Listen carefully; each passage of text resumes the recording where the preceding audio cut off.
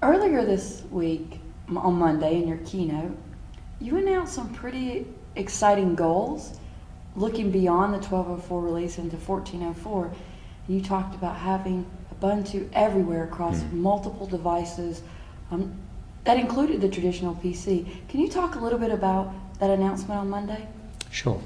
Um, so 1204 is the culmination of two years of work, three previous releases running up to, um, to, to 1204 itself. Uh, so the scope for change in 1204 is, is fairly narrow, but it's also a great opportunity for us to start looking at the next two year cycle. Um, uh, it's become increasingly clear on the client side, when we talk about Linux for human beings, which is our mission, um, that the opportunity is there to bring that free software experience to a much wider audience. But if we're going to do that, we have to bring it across a much wider portfolio of experiences, portfolio of categories and devices. Uh, so that really, you know, this is really us setting the scene for uh, a series of conversations about what Ubuntu on these different categories would mean. We had amazing discussions this week with, uh, you know, folks from various companies and communities, all of whom sense this opportunity. Uh, I think everybody's quite sanguine about the challenges. Um, uh, Ubuntu Core, kind of the, the engine room of Ubuntu, is unique in that it runs today on the hardware that, that is used from phones to, to high end servers. Um, so we have a, a, great start in that core. We have to figure out what we want to express to the user. Last UDS, you announced that you really wanted to reach that mark of 200, 200 million, million users in four years. Hmm. In addition to servers, PCs, tablets, phones, hmm. smart screens, how else do you see Ubuntu reaching the masses, going beyond even 200 million? So we've seen with Android, we've seen how quickly a good platform can spread when manufacturers don't have a vested interest one way or the other, and um, and you know our our goal is to take advantage of that to deliver a platform that manufacturers are going to love um, and users are going to embrace um, I think it's clear that design has to be central to that. We won't deliver um, we won't deliver something to that audience that really rocks their world unless we start from the point of view of saying it's got to be great, it's got to be beautiful. Um, but we really have some of that DNA now. You know, it's it's it's been rough in pulling it together, but you, you saw the design sessions and how passionate people are about just getting it right, getting it perfect. Um, we have a uh, a, a, group of leaders emerging who speak authoritatively about design, have clear ideas, and increasingly they have the ear of developers who want their stuff to be beautiful and functional and effective. Um, I think there's a growing recognition in the free software community that it's it's not enough just to be stable, and it's not enough just to be fast. And it's not enough from a platform point of view just to be virus free. You've got to be punchy and clear and beautiful. So we have that gene and uh, it's a question of you know producing some focused, directed efforts around that. Speaking of those focused, directed efforts, one of the things that was brought up in conversation in some of the hallway tracks was it's been seven years, hmm. and the vision you had seven years ago when this project really got off the ground was revolutionary at that moment in time. It was a new idea the announcement on Monday was was new and fresh and, and bright as well. What do you like when you look at that vision from from where you saw it seven years ago to where it is today to where it will be maybe in another seven years? Do you think the vision you have right now is as clear and concise and precise as what it will be, say, five years from now? Like, what do you think Ubuntu will be five years from now? Um, Ubuntu, we have the elements of that. We have Ubuntu One as a service framework, which other people can take and run with and use. We have Unity as a as an interface framework, which other people can take and evolve. Um, and we have me and the rest of Canonical totally focused on on on delivering that. And I think that needs to remain our focus. Um, the, the, technology platforms are going to change dramatically. Uh, um, what what should be consistent throughout all of that is the spirit of the community, which you know has this singular mission and has this, I think, very high class way of working, you know, internally with itself, bringing, attracting new people and promoting those who, uh, who, who, you know, deliver the goods. The moonshot world. Um, in that world, I think Ubuntu has a tremendous role to play. We're already the number one platform on, uh, on, on, on Amazon Web Services, number one platform on, on Rackspace, which are, you know, have similar economics. And, uh, and I'm sure we'll be the number one platform for people who are building out large clouds. Um, so, so I think it's exciting.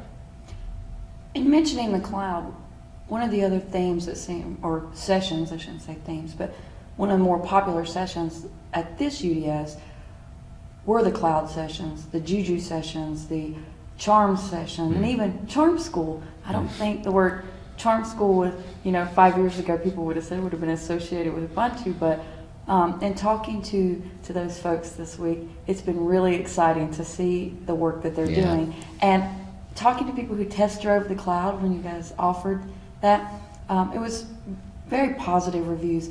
What Juju, you know, really has that feel of clarity. You just say, you know, give me WordPress or give me um, a load balanced um, web front end, and um, it has that uh, Rails like sense of not repeating yourself. You know, the system knows what you asked of it, so and it's never going to forget that.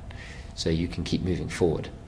Um, uh, it's you know it's interesting to speculate where that'll go, but for now, I think I think it's just delightful to see how excited people are about it and, and how much energy and buzz and kind of competitive rivalry there was between the charmers. I know when we were in Budapest last cycle, I sat down with the orchestra team and I said, What does this mean to end users? Just not sysadmins. And they're like, Well, it's not for just typical end users. However, that has changed in the last six months with Juju and these charms.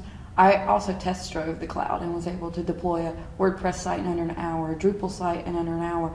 So while there is that enterprise aspect of it, while there is that developer aspect of it, it is now reaching just end users, just people who want to deploy one hmm. site. And then learning that Juju could be deployed on bare metal was pretty exciting as well. So for me and for other people in the community, they're going, wow, this is exciting because we're, we thought it was only going to be for developers and enterprise level. It actually brings it to the user. And that's another thing that, that in your vision seven years ago and, and how you've embodied it, Linux, for human beings, you did. So, Yeah. so that's a really interesting point. You talk about you talk about you know end users deploying stuff. Um, uh, I th- I think that is a, a part of the future. You know, already we have the personal cloud. Um, Ubuntu One is an example. iCloud is another, and that's you know my stuff in the cloud, right? In the set of my applications that that get to it. But it's it's kind of like the cloud's relationship with me. But there's also a sense in which I want to be able to connect to and publish to the rest of the world. And right now, you're limited to doing that through, you know, other people's services, Facebook or Google Plus, and and it may well be that, in fact, people want to say, you know, give me my own, give me my own presence.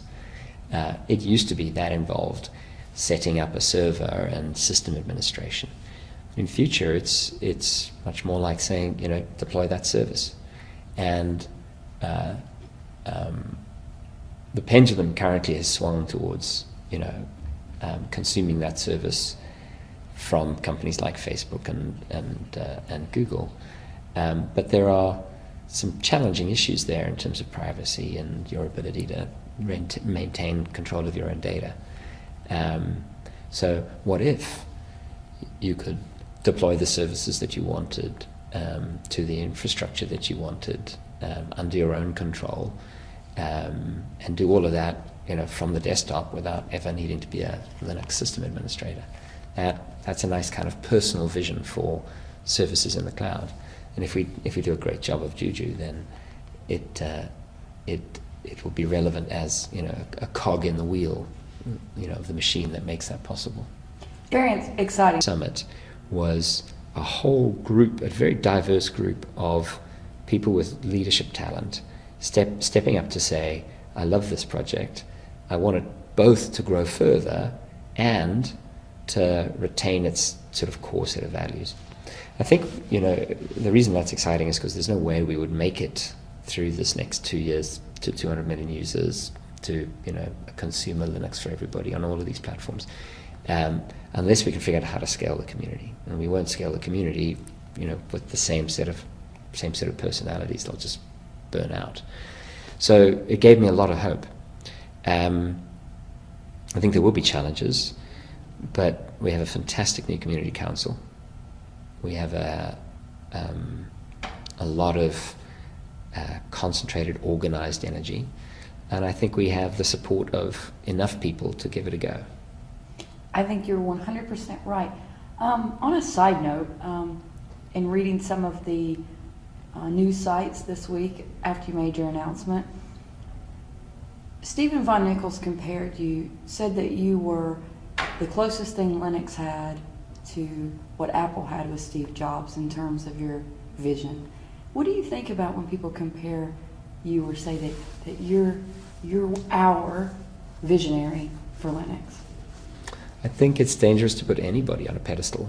You know, I love reading about great, great people, and I, I, I love reading about their flaws because I think, I think what makes um, somebody like Nelson Mandela great is the fact that they, you know, achieved what they achieved despite being human.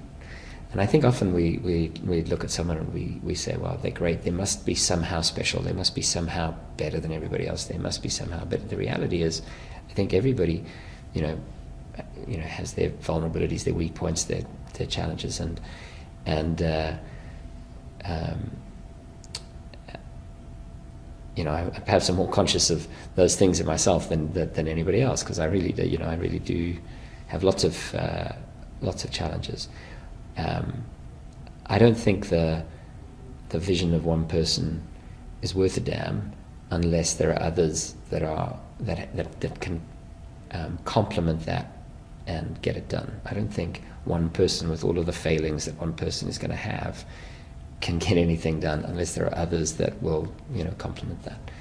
And if Ubuntu you know has has made great progress, it's because of all of those other people who. Uh, who get it done and get it done with such charm and taste. Mark, thank you so much for sitting down with me here at the 1204 LTS Developer Summit and going through these small announcements, well, they're not small announcements, these big announcements that happened this week, looking at 1204, looking at 1404 and beyond. I'm excited. I know everyone here is excited.